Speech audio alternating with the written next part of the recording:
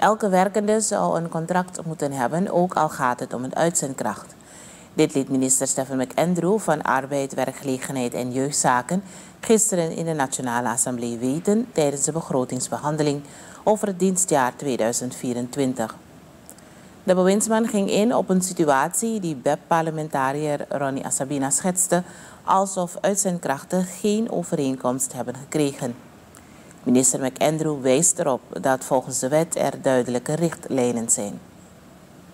Terwijl er toch wel in de wet ter beschikkingstelling uitzendkrachten staat, dat uh, werkers die arbeid verrichten op basis van een overeenkomst, um, toch wel schriftelijk en door beide partijen ondertekend een arbeidsovereenkomst aan de uitzendkracht dienen te verstrekken.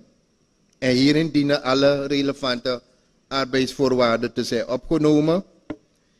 En ik kan u aangeven, voorzitter, dat indien uitzendkrachten, maar ook andere werknemers uh, geen overeenkomst hebben gehad, dan kan men altijd in contact treden met het directoraat arbeidsinspectie, zodat het nodige uh, gedaan kan worden.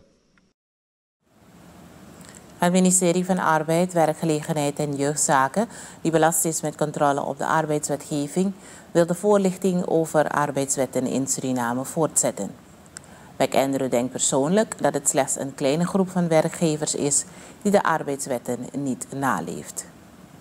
En ik kan u aangeven, voorzitter, dat in 2024 we verder zullen gaan met onze inspecties.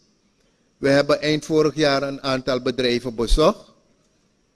En we zullen in 2024 doorgaan met het bezoeken van bedrijven in bepaalde sectoren waarvan we toch wel de nodige klachten krijgen.